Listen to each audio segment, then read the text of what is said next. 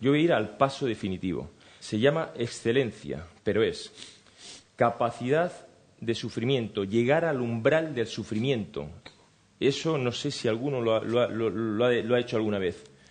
Llegar al umbral del sufrimiento significa que te tienes que caer al suelo prácticamente, porque ya no puedes más, las piernas no te dan, pero el cerebro te dice que vas a hacer, que quieres hacer un paso más, que vas a hacer un paso más que el adversario. Porque estás compitiendo con él, por ejemplo. Sí. Yo creo que eso es lo que me pasó ayer. Yo con las piernas las tenía cansadísimas y, no podía, pero pasa que yo quería entrenar y quería ir, fuerte y mm. hasta que me, pa, me, me, rompí aquí.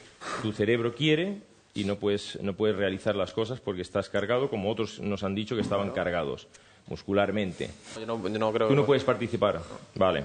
Pues entonces... Yo quiero entrenar, pero de manera que Juan me diga unos ejercicios abdominales, flexiones, lo que sea. Pero que no quiero... No vas a poder.